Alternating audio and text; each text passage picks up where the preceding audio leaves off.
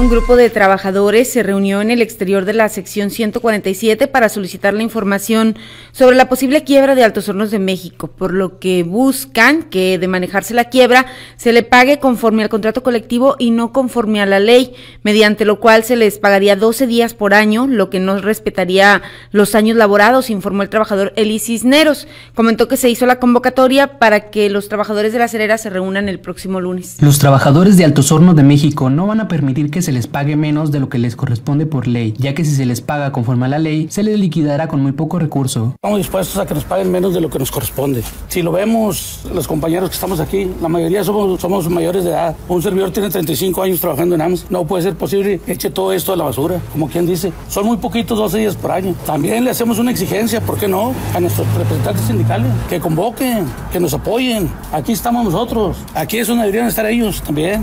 Aquí por lo mismo, por falta de información nada más por falta de información. Queremos que vean que no estamos dispuestos a aceptar cualquier cosa como terminación. Estamos pidiendo que se nos respete nuestro contrato colectivo de trabajo en todos los rubros. Esa es una de la, reunión principal porque ¿Por qué? Por diferentes causas. Una de ellas, y no digo que la principal, todos tienen este, eh, la misma importancia.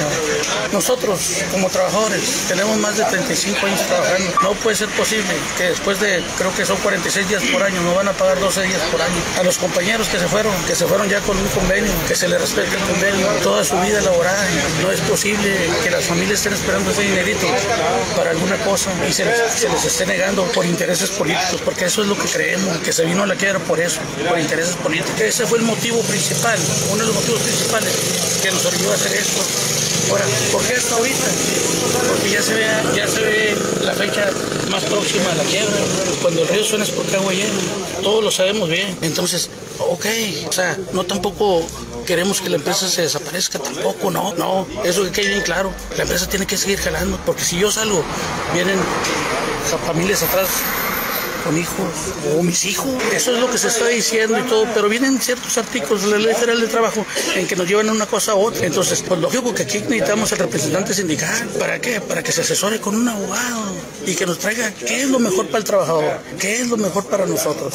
Eso es lo que queremos, que nos den información real, verídica. ¿Y cuál es la realidad verídica? Pues los, los representantes sindicales es la única que nosotros vamos a aceptar, porque ellos son los que tienen la obligación, por eso están ahí. Es una exigencia que estamos haciendo. Gran parte del proceso. En su momento se, se vino dando información cómo iban los... Pero llegó el momento en que ya, se, ya no hubo información de nada. Entonces eso fue la incertidumbre de toda la base trabajadora, qué es lo que va a pasar con nosotros, con nuestro contrato. Por eso se hacen estas reuniones.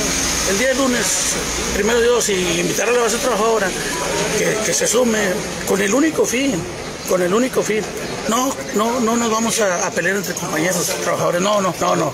No voy a descalificar a uno u otro. ¿no? Lo que estamos diciendo es única y sencillamente es que queremos información de nuestros líderes sindicales. Esa es. Ya en su momento, si se decide otra cosa, va a ser en, conjunto la mayoría. Si se decide qué hacer, va a ser en conjunto la mayoría. Opciones hay, pero si se decide qué hacer, a ese punto la mayoría. Con información de Milton Malacara para Socolomón Monclova, Alex Lavador.